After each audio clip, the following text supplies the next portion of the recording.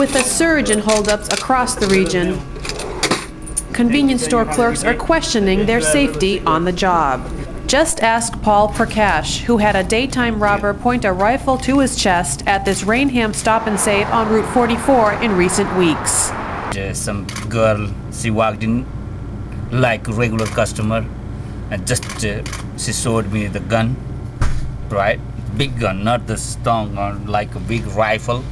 And just she said, put the money all. I'll gonna go outside and check what's going on. Since then, Please. Prakash says he's been more aware, relying on store surveillance cameras and other security devices for safety. How often do you look at that to Yeah. see who's around? Yeah, we keep looking all the time. Anytime. Yeah, I'll keep looking. You know, who is there, who is there. And We also his God faith. For that, God protect us. The second thing, just certain security devices. You know, the cameras, those things, and uh, you know, we are a little careful. You know, if we see any, uh, you know, the strange, right?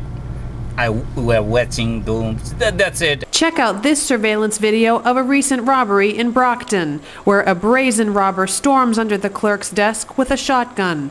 The clerk wrestles the gun away from the robber, who later fled with about $200. Seeing video like this makes Prakash recall that dark day and just how close he came to danger. first time in my life. I never seen gun that closely. You know, I never seen that gun that closely on my chest. The gun was on my chest, and uh, like 15 days, uh, I, I I couldn't sleep properly. You know, I remember all those things in my life, and uh, I thought that day, today is my last day in this. You know, I got sentimental anyway. You know, it's, it's, it's scary. I don't know.